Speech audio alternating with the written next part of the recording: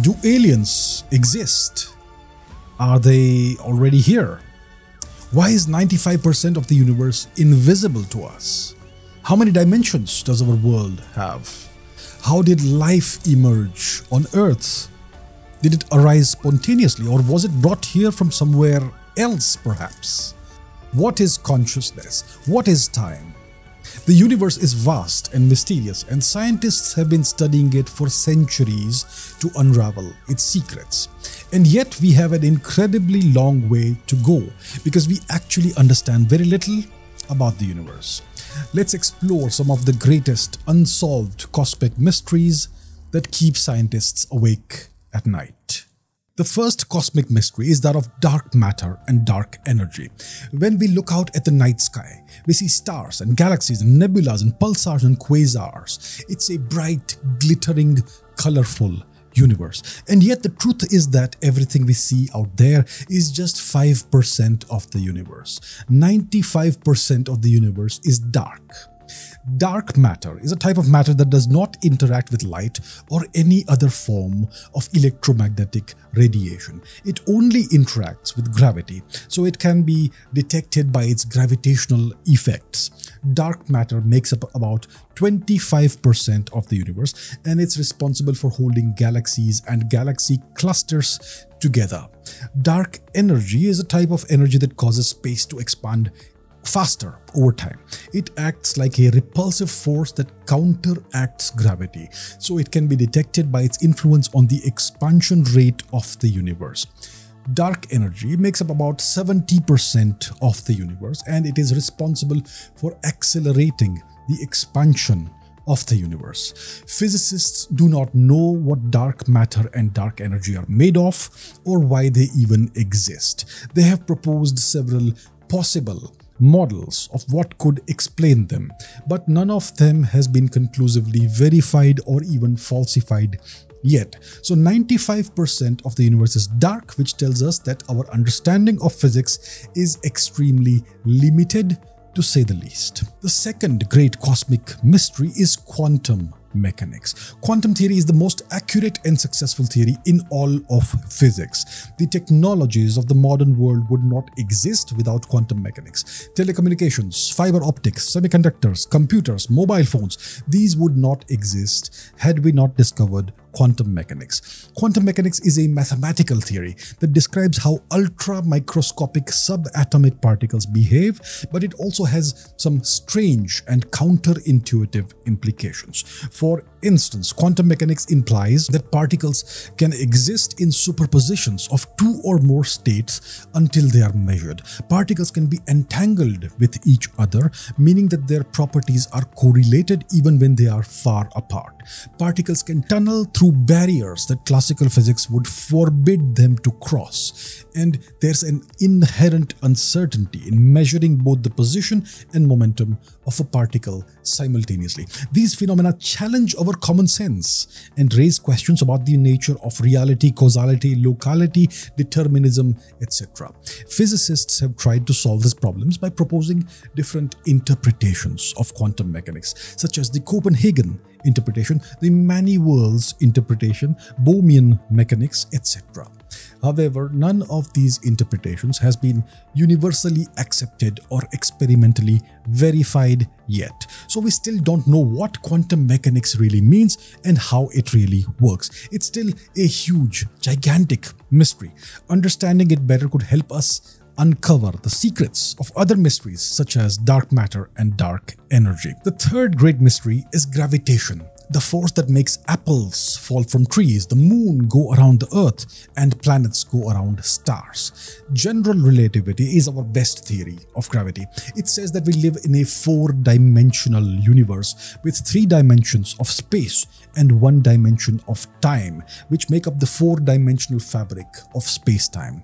General relativity says that the presence of mass curves the fabric of space-time and that the curvature of space-time tells mass how to move. It's an extremely successful and well-tested theory, but it does not work well with quantum mechanics, which is our best theory of matter and energy. Quantum mechanics assumes that time is absolute and space is smooth, while general relativity assumes that time is relative and space is curved.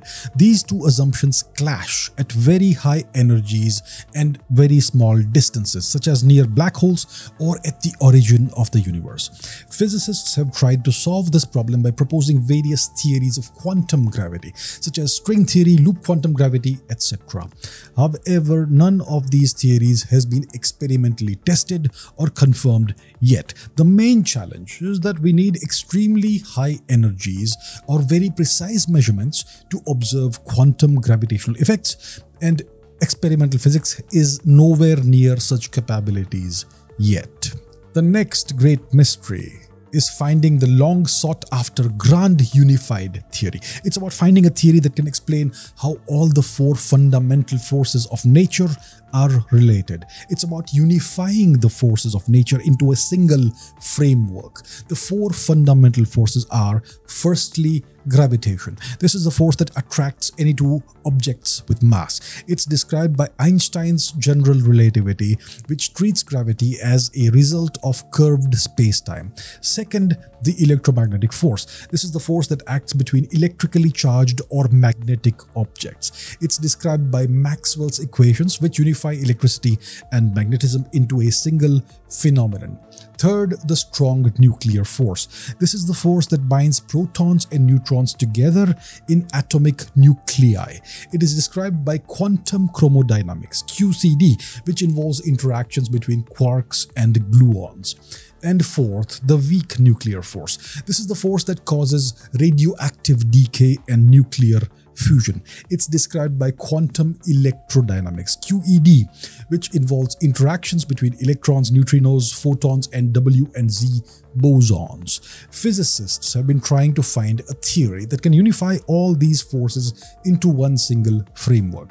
Such a theory would be able to explain all physical phenomena at any scale or energy level. However, there are many challenges and difficulties in achieving this goal. For example, there's a mismatch between general relativity and quantum mechanics which are incompatible at very high energies or very small distances. There is no experimental evidence for any unified theory beyond the standard model of particle physics which only unifies electromagnetic and weak forces. There are many possible candidates for unified theories such as grand unified theories, GUTS, supersymmetry, SUSY, string theory, loop quantum gravity, etc. But none of them has been conclusively verified or even falsified yet. So big mystery.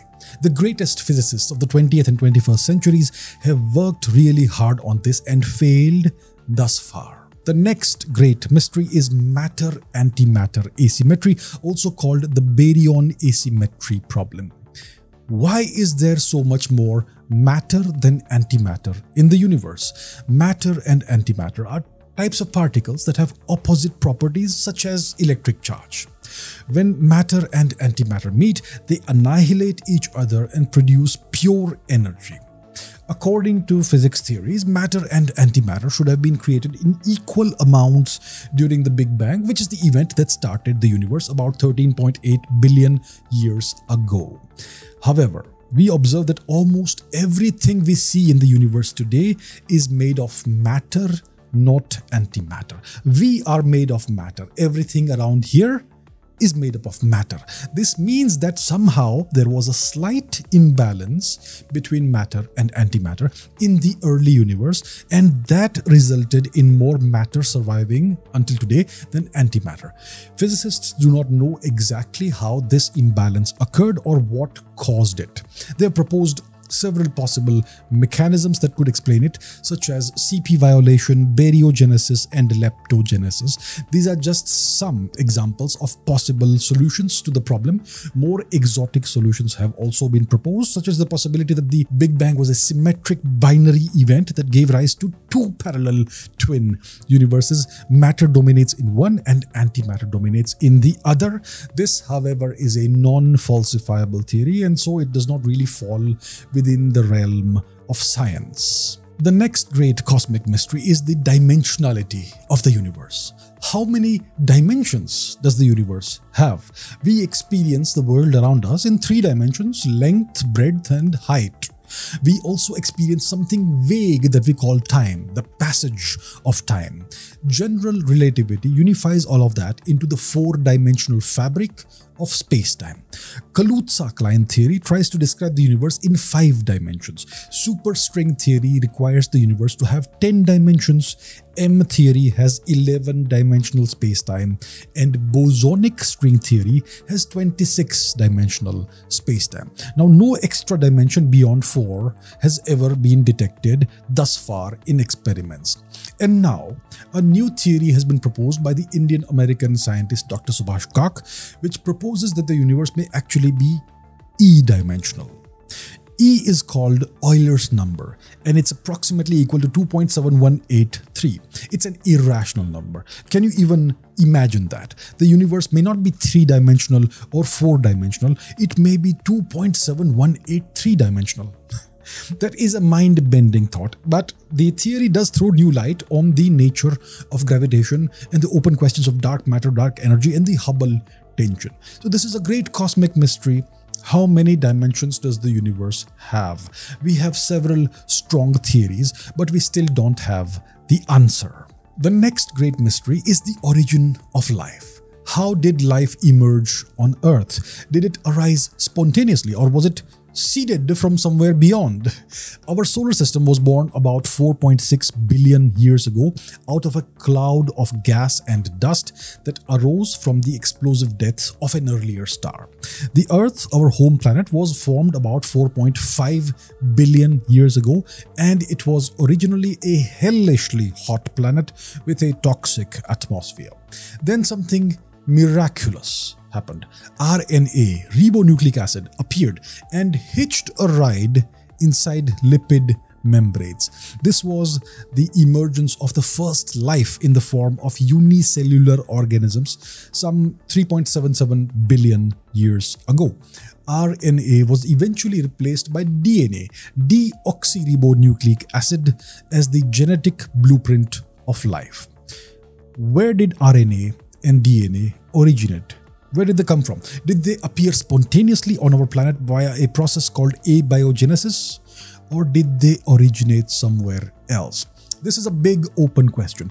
We do find that some meteorites that fall to Earth contain organic compounds including amino acids, which are the building blocks of protein and therefore of life. This raises the question of what else could space rocks be carrying within them? Could RNA and DNA also have come from space rocks. There is a hypothesis called panspermia, which states that life could exist throughout the universe and may be distributed by space dust and asteroids and comets, as well as human-made or even alien spacecraft carrying unintended contamination by microorganisms. Now, there is no evidence of this at all thus far, but the possibility cannot be ruled out entirely.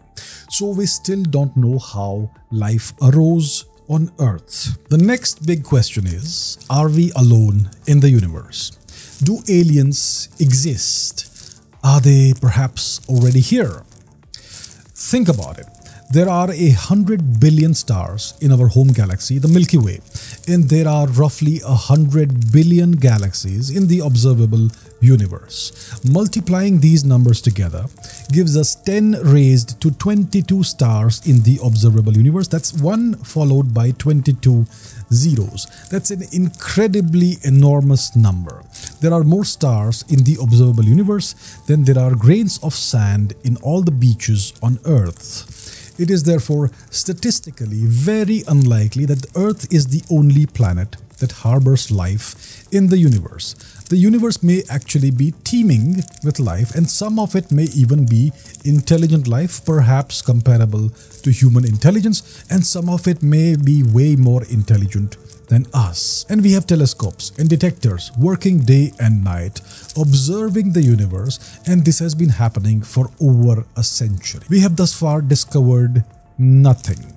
Not a single shred of hard, undeniable scientific observational evidence of alien life. So, where are all the aliens? Where is everybody? This is called the Fermi paradox, and we don't have the foggiest idea. We don't have any answers. Social media is full of grainy UFO videos and such.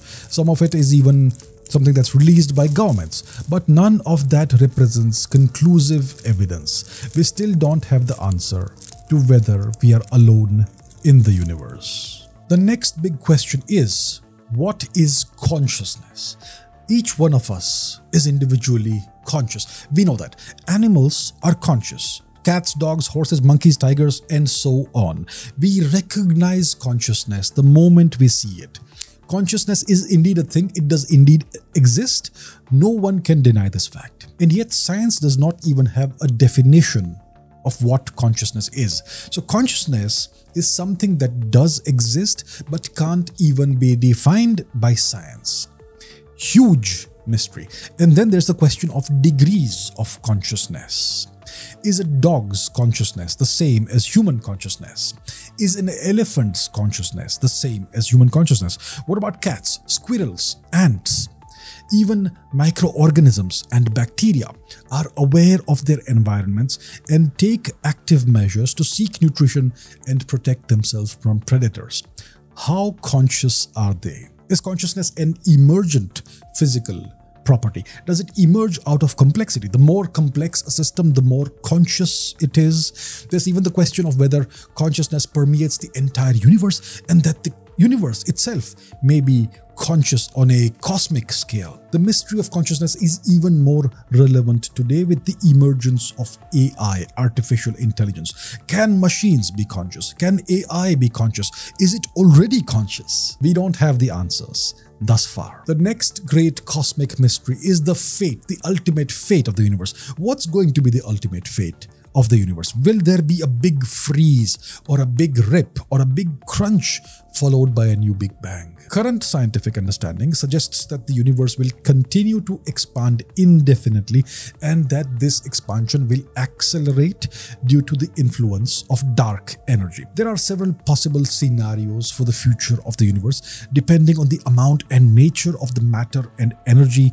it contains. One possibility is the Big Freeze, also known as the heat death of the universe, in which the universe continues to expand and eventually all matter becomes so widely dispersed that it can no longer interact, leading to a state of maximum entropy and heat death. Another possibility is the big crunch in which the universe eventually stops expanding and collapses back upon itself, possibly leading to a new Big Bang in the formation of a new universe. There are also other more exotic scenarios, such as the possibility of a big rip, in which the expansion of the universe accelerates so rapidly that it eventually tears apart all matter, including atoms and even subatomic particles. The last great mystery for today is the mystery of time.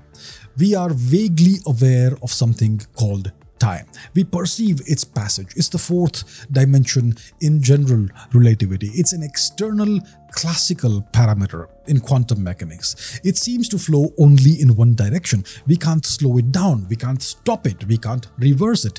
We can't jump back and forth in time. We can't travel in time. We don't know its origin. We don't know its true nature. When did time begin? How did time begin? Why did time begin? Is time an emergent property, something that emerges out of the chaos and complexity of the quantum realm? Are there atoms and molecules of time? Is time an illusion? Are the boundaries between past, present, and future just illusions? Or is time something that's external to the universe we inhabit. The greatest minds of the 20th and 21st centuries have wrestled with these questions and agonized over them, and we still don't have the answers. The fundamental nature of time may be the greatest cosmic mystery of all. In conclusion, we have explored some, a few of the greatest mysteries of the cosmos. And while we have indeed made significant strides in understanding our universe, there is still much to uncover.